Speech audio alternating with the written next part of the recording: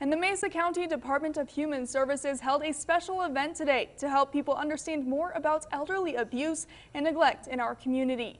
Our Kyra Isaacs took a closer look at ways we can protect older community members.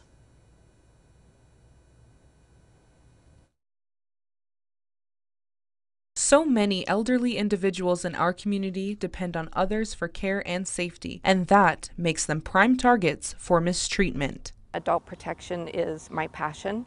I really um, firmly believe that this is a necessary service to the individuals in our community. Candace McGuire, Program Director of Mesa County Protective Services, says the Purple Ribbon Ceremony aims to reduce abuse and neglect. In 2021, residents reported more than 1,600 cases of elderly abuse, neglect, and exploitation. This is just another way of getting the information out to the community that we are here and we are willing to be of assistance. Kirsten Barnard, lead supervisor for Adult Protection Services, says the county is changing the way it responds to elderly abuse. One way is completing thorough background checks on individuals who provide in home services. And I think we do a lot of great work.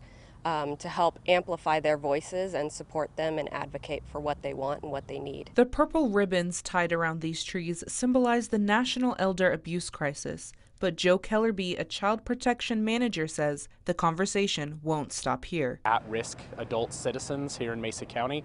Um, they, they need help at times and they need help uh, with protection of their own safety. They need help protecting of their finances. Some elderly residents feel embarrassed to reach out for help. Be sure to watch out for those in our community and when they need it, contact Mesa County's Department of Human Services. Reporting first on the Western Slope, I'm Kyra Isaacs, KREX 5 News.